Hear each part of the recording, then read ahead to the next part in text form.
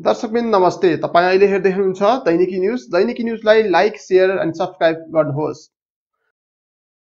मौसम पूर्वानुमान महाशाखाले आगामी तिन दिनको मौसम पूर्वानुमान सार्वजनिक गरेको छ। मौसम पूर्वानुमान महाशाखाका अनुसार हाल देशमा पश्चिमी वायु स्थानीय वायु र पूर्वी भूभाग नजिक बनेको न्यूनचापीय क्षेत्रको प्रभाव हुनुका साथै बङ्गालको खाडी तथा अरब सागरबाट समेत जलवायुयुक्त हावा नेपाल प्रवेश गरेको देखिन्छ। महाशाखाका अनुसार हाल पूर्वी भूभागमा सामान्य बदली र मध्य पहाडी भूभागमा आंशिक बदली भई अन्य बाँकी भूभागमा मौसम सामान्यतया सफा रहेको देखिन्छ।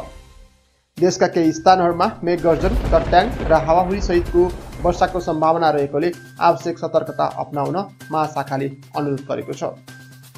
आज वैशाख अठार गते बिहिबार दिउँसो तथा राति देशभर सामान्य बदली रही केही स्थानमा मेघगर्जन चट्याङ र असिना तथा हावाहुरीसहित हल्कादेखि मध्यम वर्षाको सम्भावना रहेको छ।